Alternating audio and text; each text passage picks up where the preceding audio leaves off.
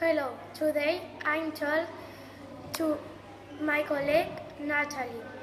She's 10 years old and her older sister is 20 years old. She lives in Esplugues de Llobregat. She, she is direct, fun, adventurous because she loves nature, but sometimes she is very creative. She likes listens to music, dances, and watches videos in YouTube.